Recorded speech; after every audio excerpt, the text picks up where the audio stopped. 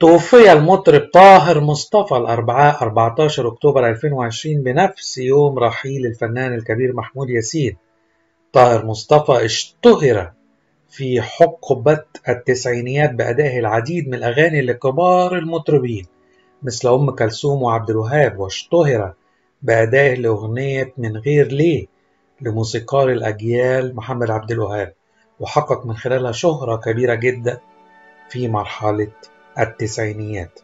قبل عشر سنوات استقر طاهر مصطفى توفي عن 44 سنة في مدينة الغردقة بعدما تزوج ورزقه الله بطفله الوحيد أحمد. لكن الزمن الذي جاد على المطرب المعجزة في صغره أبى أن يكمل فضله عليه وفرق بينه وبين نجلي الذي عاشقه وأصبح أمله الوحيد في الدنيا.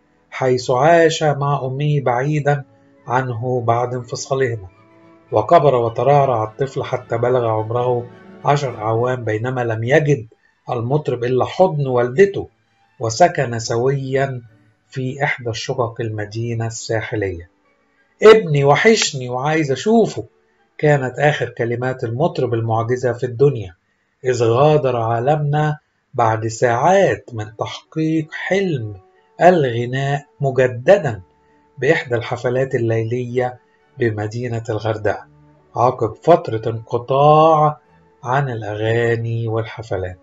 سعادة كبيرة كانت تغمر المطرب طاهر مصطفى أثناء استعداده للحفل الأخير في حياته وكأن الزمن عاد به إلى الخلف.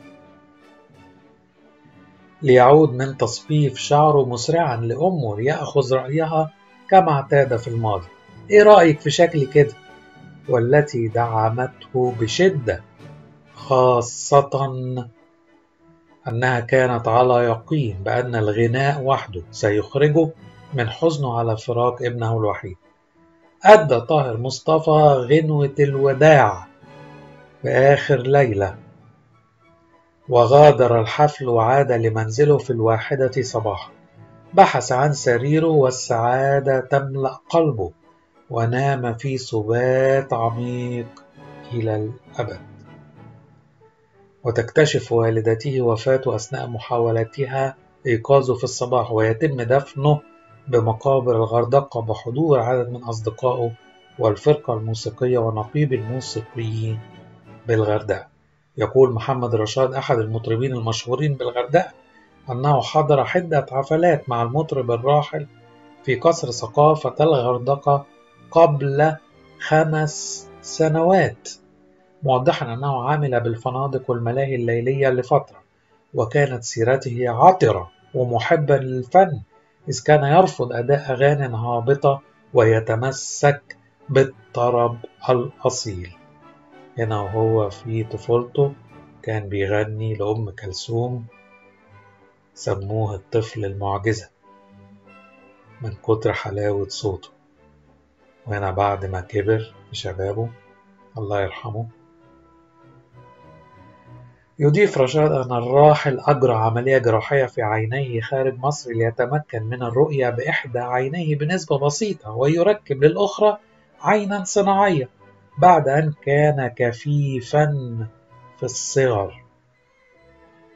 العازف فتحي الدكماوي أحد أفراد الفرقة المصاحبة للمطرب الراحل طاهر مصطفى يقول أنه لازمه في العمل منذ سنوات.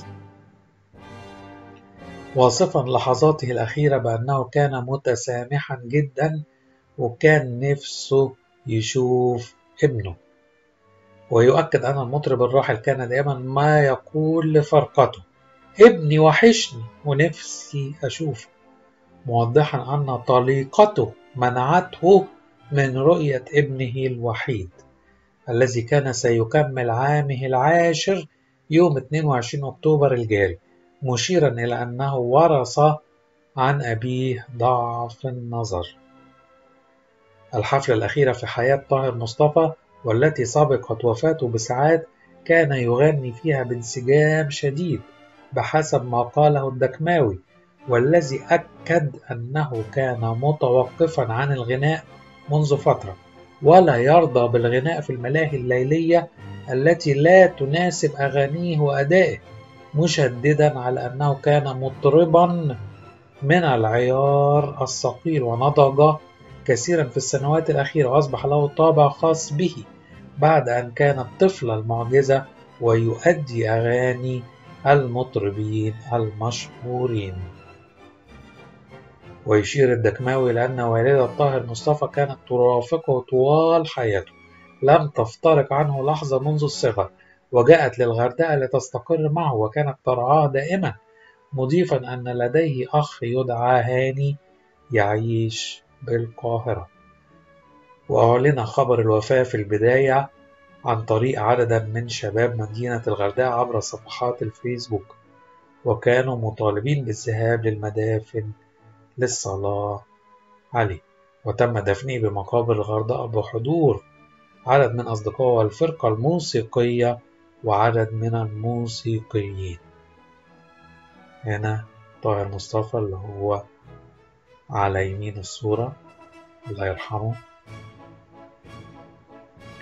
وهنا على شمال الصورة. مع أصدقائه. طاهر مصطفى أطلق عليه معجزة الطرب الأصيل وكان كفيف البصر وهو ابن محافظة المنصورة وقدم أربع ألبومات أعاد فيها تقديم أغاني لأم كلثوم وعبد الوهاب ولكن طاهر مثله مثل كل نجوم الطفولة كان يجب عليه التوقف عن الغناء في مرحلة النمو وتغير الصوت في فترة المراهقة والتي لم يرجع منها طاهر كما كان وحاول عدة محاولات مع أغاني فريد الأطرش لكنها لم تكن في قوة ونجاح ما قدمه من قبل.